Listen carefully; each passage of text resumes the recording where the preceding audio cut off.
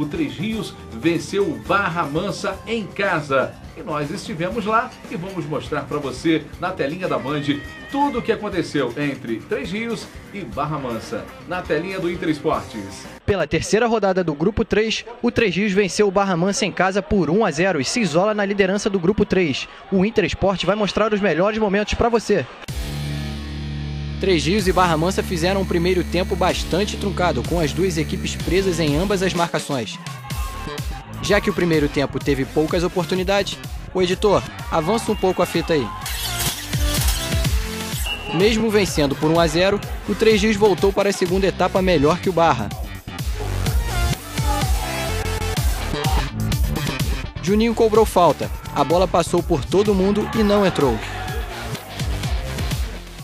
Tenente recebeu a bola livre para boa defesa de Magno. Tenente cobrou escanteio fechado e quase marcou um gol olímpico. O Barra Mansa pouco chegou ao gol de Três Rios. Tenente sofreu falta de Glauber próximo à área. Ele mesmo cobrou e Magno fez a defesa em dois tempos. No fim da partida, o Barra buscou o gol de empate,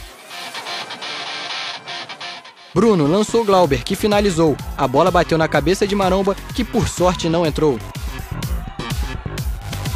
Com este resultado, o Três Rios se isolou na liderança do Grupo 1 com 7 pontos. Zé Alcides, o jogo hoje não foi muito agradável não, mas o Três Rios saiu com dever cumprido, os três pontos em casa? Com certeza, jogo difícil, porque Barra Mansa tem um time muito experiente, um time muito fechado, pô, vieram em busca de jogar no contra-ataque, porque é normal, pô, nosso time encontrou com dificuldade para jogar no meio, que nosso time joga muito com a bola trabalhada.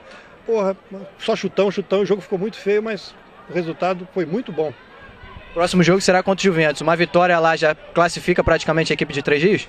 Praticamente. Vamos torcer para a gente fazer um bom jogo lá, é difícil, o time Juventus bem, vem em ascensão, ganhou agora, ganhou ontem, hoje de manhã, se não me engano, time bem postado, pô, bem treinado, vai ser bem difícil. Mas se a gente conseguir, praticamente garante a classificação. Estou aqui com o Tenente, um dos destaques da partida.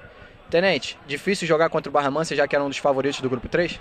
Sempre muito difícil jogar com o time do Barra Mansa. É uma equipe boa, mas graças a Deus saímos com a vitória aí, conseguimos sete pontos. Damos um grande passo para buscar nosso objetivo, que é subir o time para a segunda divisão. Vai com força máxima agora para cima do Juventus para buscar logo a classificação? Claro, vamos com força máxima. Nosso time é um time de guerreiro. Estamos sempre lutando para conquistar nosso objetivo, que é estar tá lá na frente ainda. Mas temos que trabalhar com humildade para chegar lá e conseguir o objetivo.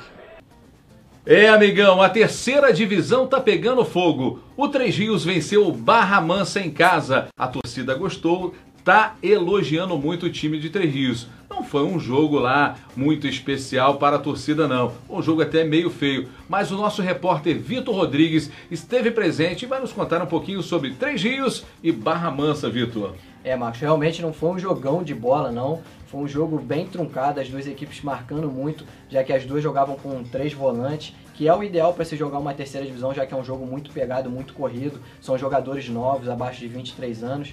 E o Três Rios ganhou em casa o Barra Mansa, que é o grande favorito da Série C, que corre risco de ficar fora da terceira fase do estadual Série C. Já o Três Rios precisa agora só de mais alguns dois pontinhos nessas duas desses dois jogos finais e tem toda total chance de se classificar. É verdade. E o Três Rios está tá de bem com a vida, viu? Já o Barra Mansa fez um investimento muito grande. Né? Todo mundo estava esperando que o Barra Mansa ia chegar, né?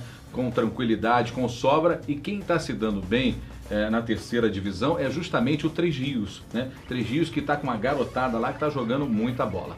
Muito bem, o Inter Esporte vai dar uma paradinha, voltamos daqui a pouquinho com mais informação para você sobre esporte aqui na Band.